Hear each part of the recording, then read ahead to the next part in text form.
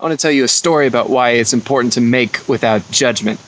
There was a uh, pottery teacher who had a group of pottery students and he split them up into two groups, very scientific. He had group A, group B. He told group A, by the end of the semester, I want you to make the best piece of pottery you're capable of. And I'm going to, you know, rank you based on how good it is. And he told group B, I want you to make as many pieces of pottery as you can. And I want to, and I'm going to rank you by how many pieces of pottery you create.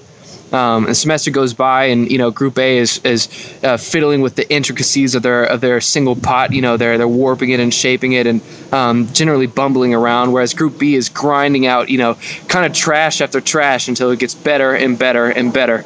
And by the end of the semester, um, Group B, uh, who was told to make as many as they could, had a better pot than Group A. It was very American story, and you can tell because it's not very like romantic or uh, uh, exciting, not very fable like. But I love it as an illustration of why you should do without thinking so much. The more you do anything, the better you get at it, especially if you keep in mind your personal requirement to improve. You start to look at, you start to see the, the reasons why something can be better rather than keeping in your head this abstract idea of what it means to, um, I don't know, be better at something. You might judge yourself. I know I do this based on, you know, I don't know. I used to want to be like a famous musician, but what's it mean to be famous?